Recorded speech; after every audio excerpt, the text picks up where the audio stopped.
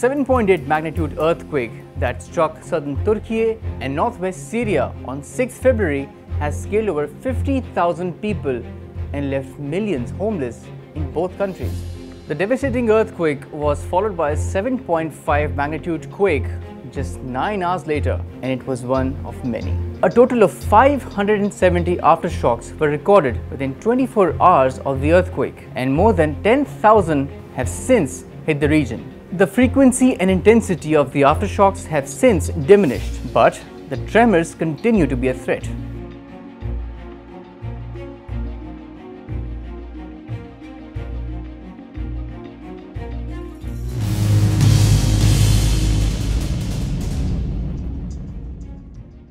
In this episode of Here's Why, let's talk about the why behind the aftershocks. Seismologists define aftershocks as tremors triggered by a large earthquake, close in time and location. Because many of these aftershocks are large themselves, they start their own chain of additional aftershocks, posing threat to buildings already damaged, also further endangering anyone trapped inside the debris, as well as the rescuers. On the other hand, smaller aftershocks can also disrupt rescue and relief work and cause further damages. The aftershocks can occur for weeks, months, and in some cases, years after a major earthquake. Although the frequency and intensity generally decrease over time, it varies with factors such as the intensity and depth of the main shock and tectonic plates. Earthquakes that originate deep underground tend to see fewer aftershocks. So I spoke to a leading earthquake scientist, Dr. Judith Hubbard, and asked her, what are aftershocks? So, earthquakes, the name earthquake tells you what it is. It's when the earth is shaking. Um, but most of the time, we know that those are caused by faults that are slipping underground uh, faults that are related to tectonic movements, where the, the stresses from the slowly moving tectonic plates build up on the faults over time. And when the faults have enough stress on them to cause them to slip, they can sometimes slip in very small events and sometimes in very large catastrophic events.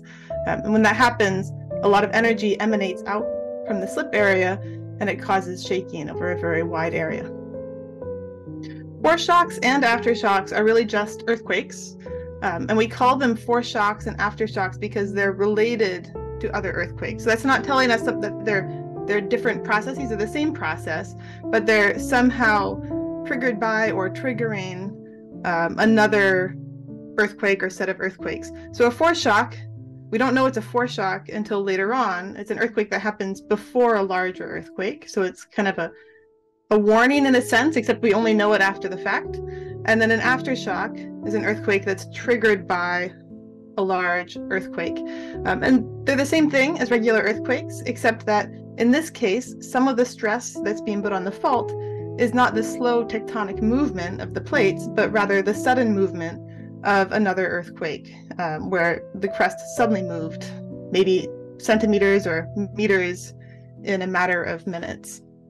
Um, there is a, um, a Dutch individual who is claimed to have predicted this earthquake. And indeed, a few days before the earthquake, he put out a statement saying that at some point in the future, there would be an earthquake in a very broad region that included Turkey. Of course, any person who looked at an active fault map or a map of seismic hazard could have told you that at some point in the future, a large earthquake would occur in Turkey. Um, people have been saying that for as long as they've been talking about earthquakes. Um, and so, you know, no one would be more excited than me if we could predict earthquakes. It would be one of the best things to ever happen. Um, the problem is that people who make claims about prediction are usually putting out a lot of predictions many, many hundreds or thousands of predictions. And then when one of them comes true, in a sense, they'll only look at that one and they'll they'll talk about that one, but not the other ones that never happened. Um, there are some things we can do, of course, to think about seismic hazard before earthquakes happen, and the biggest one is to think about where are the active faults, how big will these earthquakes be on those active faults, how often will those earthquakes occur, and then what will happen when those earthquakes happen.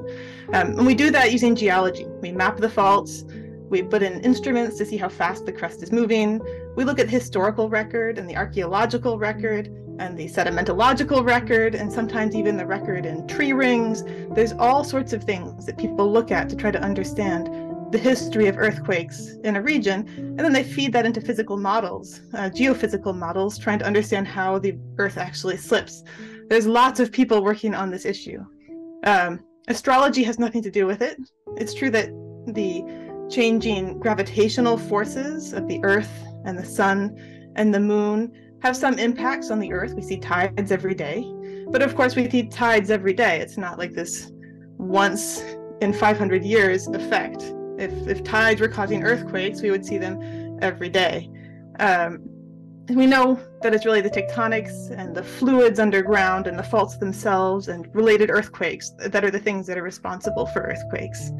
Uh, the other thing people can do for earthquakes is something called earthquake early warning, which sounds like a prediction, but it's not. Uh, earthquake early warning um, is a process where the earthquake starts in one place and then it's not an instantaneous process. It starts, and then it might take a minute for the earthquake to complete the slip on the fault, if for a very large event. And then it would take many more minutes for the shaking from that earthquake to reach different cities in the area. So um, it turns out that when you use a cell phone, the signal travels faster than seismic waves. So if we can detect the earthquake early enough, we can let people know using their cell phones that this shaking might be approaching them and they should take cover or take action but prediction is not possible.